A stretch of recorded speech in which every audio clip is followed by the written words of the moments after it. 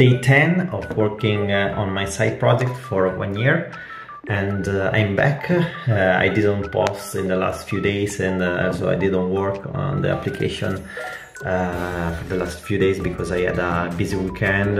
And also I joined a new volleyball team so I had to go to practice and also I don't want to stress too much uh, if I don't work uh, for a couple of days on the application because I also want to keep my hobbies and uh, relationships uh, and so I'm fine with me.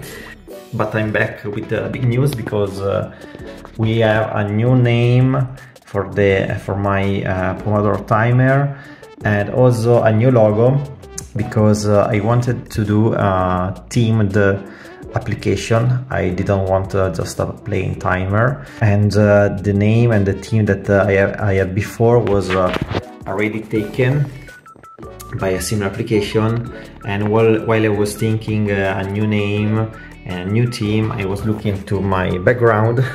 And this is where the name and the team came from. I like the, the sea and the, the ocean, and so I guess we go with uh, Ocean Timer. I think that uh, I will uh, release it uh, on uh, Linux uh, in, in a few days. So keep following and see you soon.